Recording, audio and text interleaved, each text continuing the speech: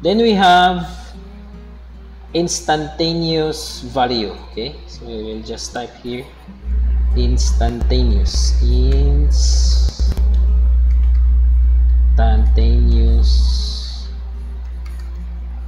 Instantaneous value. Instantaneous value.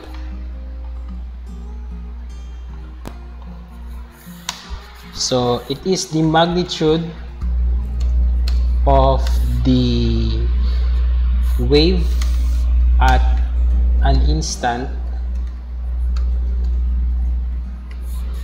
instant of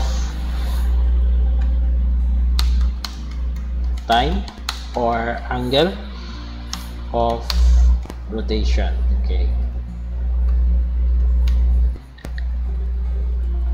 So the instantaneous value of a wave is the magnitude of the wave at an instant of time or an angle of rotation. So for example, if we are going back to our phasor, so the instantaneous value of a wave, for example, if you are going to get, let's have the color blue, to get what is the value of the current on this part, so that will be the instantaneous value.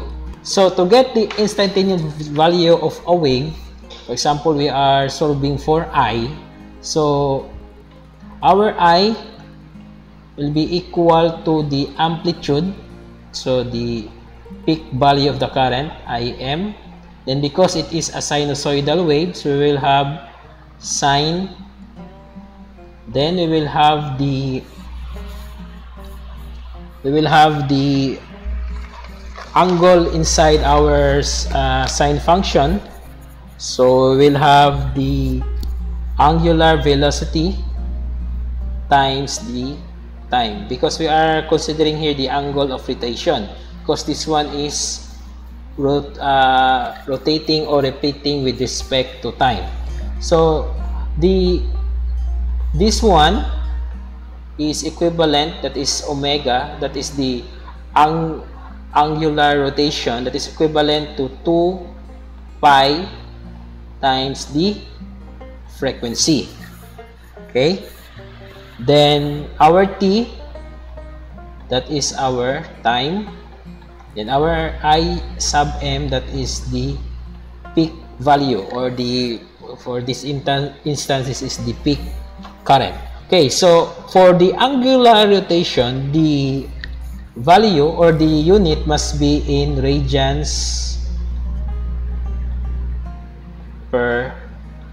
second. So if the given is in degrees, you must convert degrees into radians. Okay?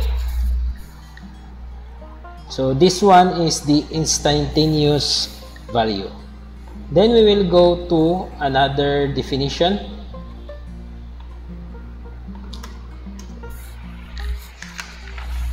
So we will go to RMS. Okay? So RMS.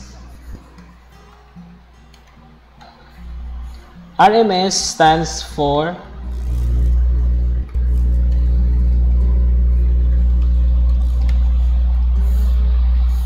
root mean square or also known as the effective value. Okay, so the effective value of a wave or of, of a sinusoidal wave to be exact is defined as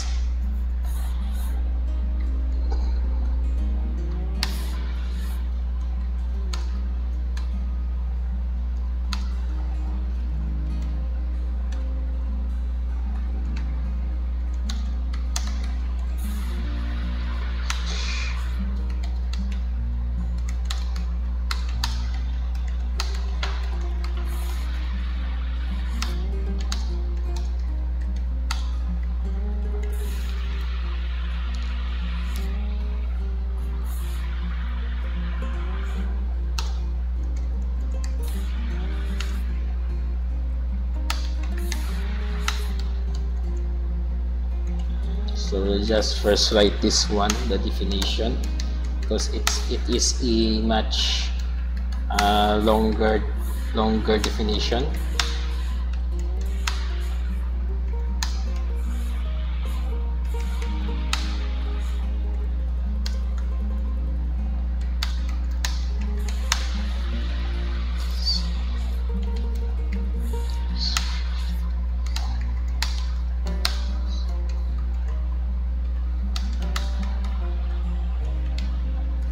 Okay, so the RMS root mean square or the effective value of a wave is the value at which when applied to a given circuit for a given time, that pro produces the same expenditure of energy when DC is applied to the same circuit for the same interval of time.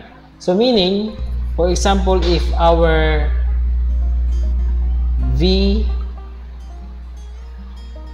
if our VRMS is equal to 230 volts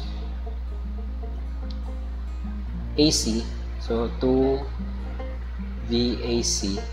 So these 230 volts will produce the same expenditure of energy when the when an equivalent DC is applied to the circuit. So if we are also going to apply a 230 volts DC, the same amount of energy is expended or is used by the system. So there is a certain derivation of this one that is using integ integral calculus, but to make the um, to make the discussion shorter, so the RMS value of any wave or if, or if a sinusoidal wave, excuse me, is equivalent to square root of okay so it's equivalent to the amplitude or the peak value over the over square root of 2 so that is the RMS value.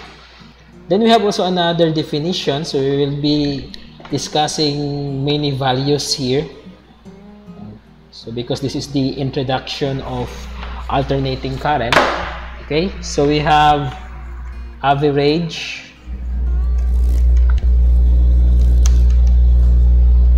Value. So it is the mean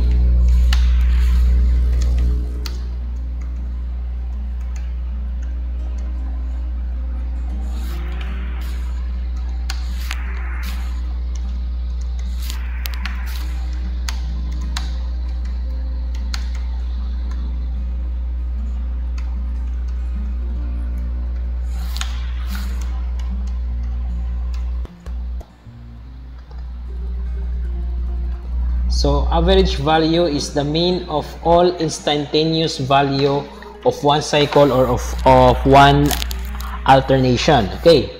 So when you say mean, so that is the average. So that's why it is called the average value. Okay, so the mean. So meaning if you are going to sum up all the values of the voltage or, or, or all of the values on a wave, the instantaneous values of our wave in one half cycle, then you will uh, going to divide that one with the number of those values.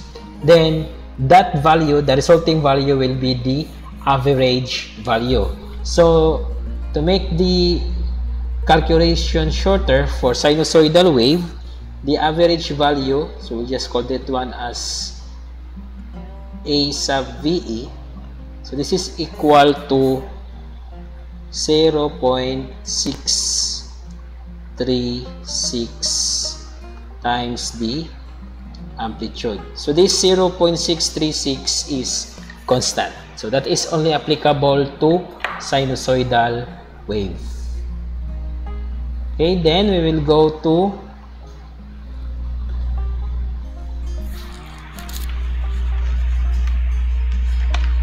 So we go to form factor. Okay, so we'll now have factors on our discussion. Form factor, so that is the ratio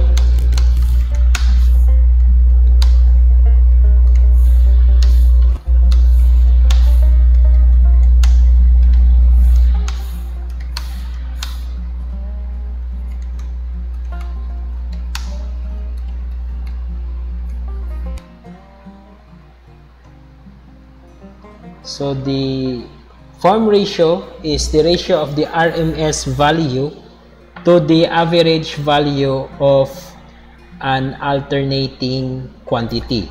So if we have here the the formula for the RMS value and this is the formula for the average value.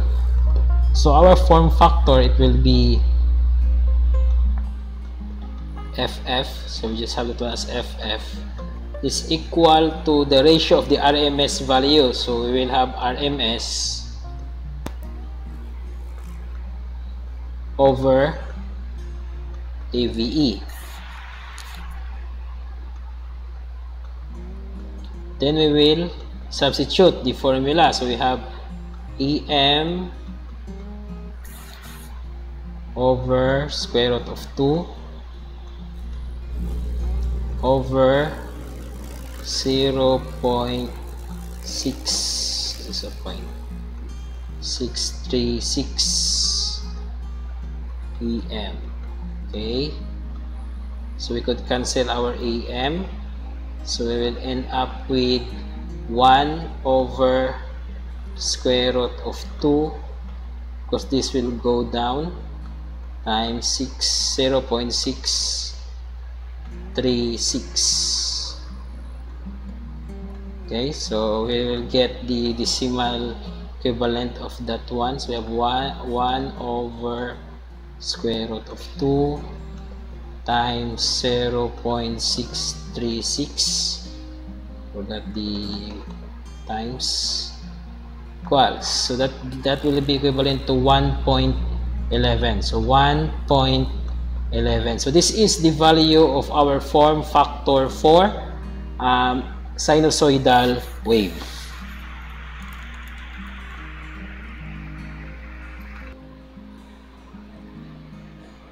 Okay now we will go to peak factor okay? So another factor in our definition. So we will have peak factor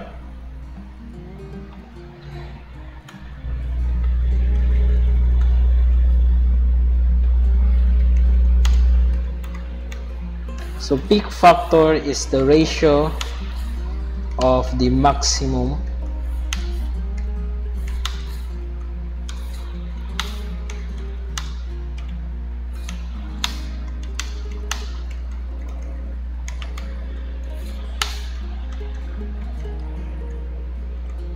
So the peak factor is the ratio of the maximum value to the RMS value of an alternating quantity. So meaning if for example, we will write the formula of that one. So we have P, F. So this will be equal to the maximum. So that will be our amplitude, EM, times the R over the ratio or the ratio of the RMS value. So RMS value is equal to EM over square root of 2. So this will be cancelled out, this will be cancelled out. So our, our peak factor is equal to square root of 2. So in an alternating in a sinusoidal wave or an alternating current, the value of the peak factor is equal to square root of 2. Okay.